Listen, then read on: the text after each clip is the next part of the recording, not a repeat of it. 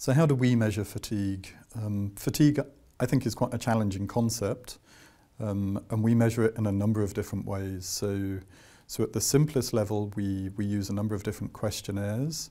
Um, for example, asking people to record on a simple, what we call a visual analog scale, how much fatigue they're experiencing.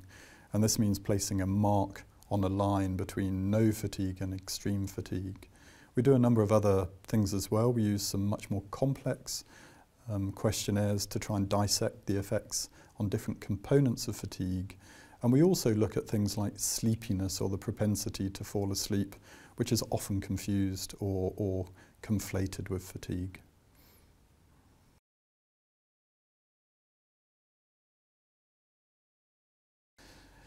Uh, does fatigue have different components? Yes, it clearly does, and I think this is part of the challenge of working in the field of fatigue.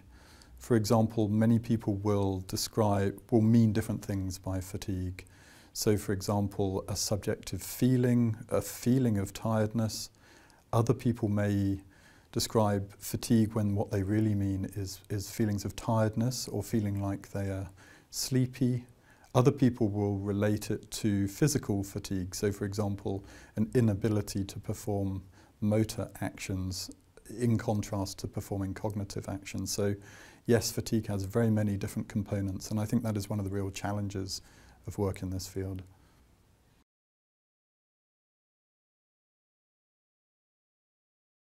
Is there consensus in my field of psychoneuroimmunology?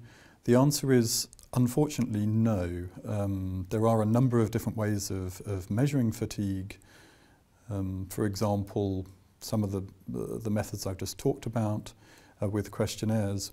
But it's also known that, that inflammation can change sleep propensity. So we know that inflammation can cause bits of the brain to enter a sleep-like state. So, so within my field in, in PNI research, there isn't a true consensus about how we measure fatigue. And again, this remains a, a big challenge for the field.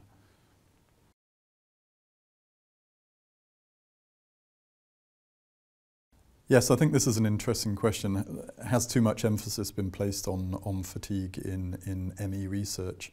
I think the answer perhaps is yes. However, the reason that I have tended to focus on fatigue is because we have a very nice potential model to look at how fatigue is represented within the brain. How is it that inflammation acts on the brain to change um, things like fatigue? One of the other issues within my field is that inflammation induces acute fatigue. However, um, there's been very little research looking at things like, for example, post-exertional malaise, um, which is um, another key feature in, in ME.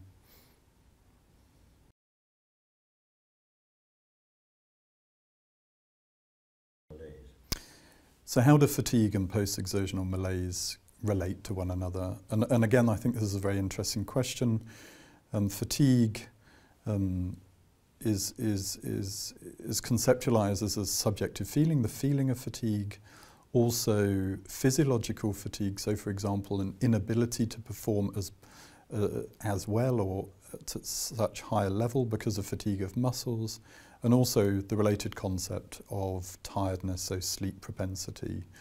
In contrast, post-exertional malaise is, is, if you like, a more complex phenomenon, the experience of, of many symptoms, including fatigue, after um, an exercise challenge or exertion sometimes of really quite mild exertion. So even though the two concepts relate together, they are somewhat different. However, at the moment, my research is really focused on fatigue itself with an aim of potentially in the future using what we know about that to try and understand post-exertional malaise.